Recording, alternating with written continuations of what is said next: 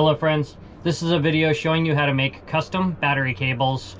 Um, this is from a longer video of me installing my Dakota lithium batteries on Triteia, my 1965 Alberg 30. Um, I just wanted to make this also as a standalone video, so anyone that was just looking to learn how to make custom battery cables made to fit your specific application, this is how I went about it. The uh, the ins and outs and what you need to know to make custom battery cables. So check it out. I hope this video helps you. Okay, so it's the time of the project to make custom battery cables, which I'm very excited about. I've already made one. Here's my first one.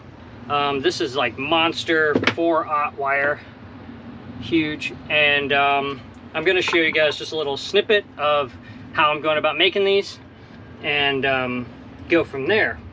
So it's much cheaper and makes a lot more sense to just buy a bunch of wire uh, cable and then cut it to the lengths you want. And then you take these um, lugs and you crimp them with this hydraulic crimper. Um, so that's what we're about to do. And um, this is a little shorty, like six inch cable. And this one specifically has a 3 8 inch in 3 8 inch lug on one end and a 5 16 on the other because of the different fittings of where it's going to go. I went into my little area and made all my measurements, uh, full list of everything I need. And um, so we're just going to be working down that this afternoon and making all the cables. So I'll show you what this is all about, um, just so you can see how it's done. Okay, so I've already cut this. I used this these little bitty guys, which are not ideal for this size of cable. So if you had bigger ones, it'd be a lot easier, but um, they got the job done. Um, so I'm gonna go ahead and mark this where we need to trim it. Trim that housing off.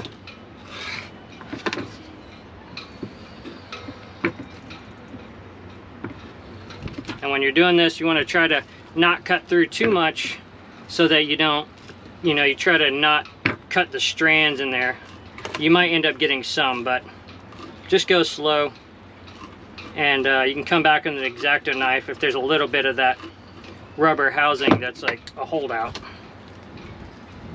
Yes, I got a little bit. Just gonna take it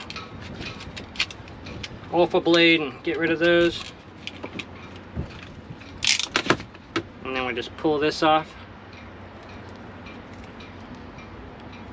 Like that. And then we got our bare copper strand. And you want to make sure that all stays together nice. And then the way I'm doing this is I just put the bottom in first and just try to keep it all happy and tight to keep all the strands in. You might get a couple of strands that find their way out, but as many as you can get in as possible. So I got one little strand out, that's not a big deal. We're just gonna wrap that around and it's gonna heat shrink over it. So there's our lug. See, this one already has a heat shrink on it because that end I did first. Let's go ahead and crimp this lug.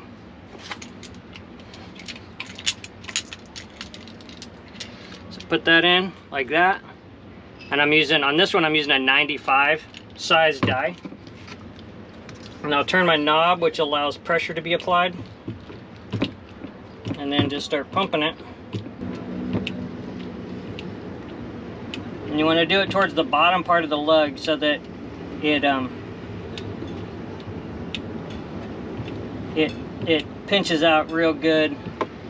Okay, now that I've got it just kind of taut, I'll show you what that looks like. So you see that's going to press that shape into it and secure the cable.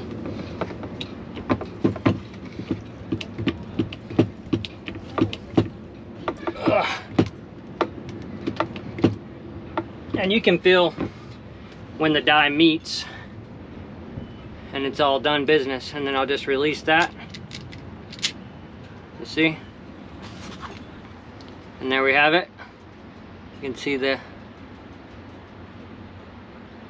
the die marks there. Try to pull it. Uh, does not pull off. Now we gotta do is get our heat shrink out color coded slide that over Take our heat gun.